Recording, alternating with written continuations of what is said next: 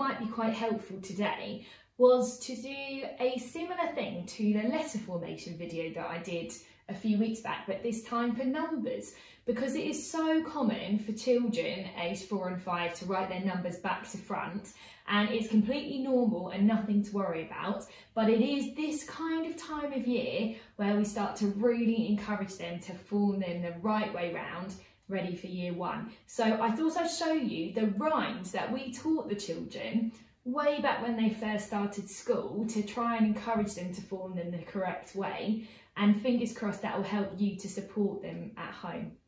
Okay, so got draw a line and then I'm done. Now I've made a number one. And I do encourage the children not to do that.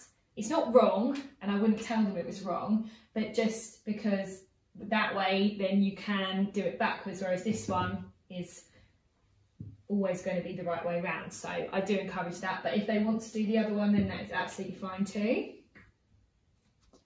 Right, number two, half a heart says I love you, draw a line, it's the number two.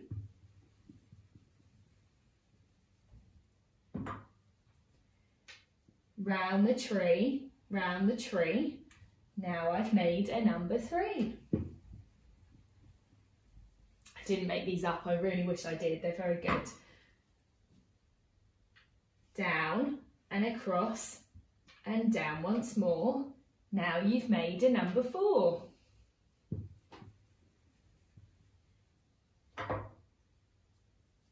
They love this one.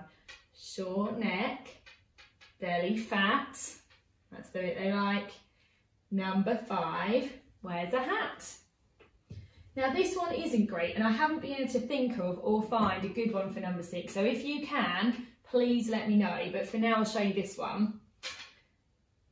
Round we go and make a loop. Number six makes a hoop. See what I mean?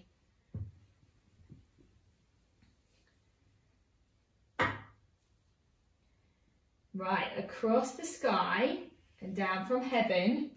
Now you've made a number seven.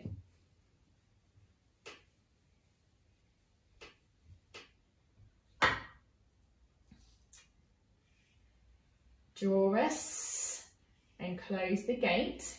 Now you've made a number eight. And the last one I'm going to show you. Draw a circle, then a line, now you've made a number nine. And of course, when they get to writing the T numbers, they can use those exact rhymes. They just need to know which numbers come into each T number. I really hope that's helpful. If there's anything else like that that I can do that would help, please do let me know. I'm more than willing to do it. Bye.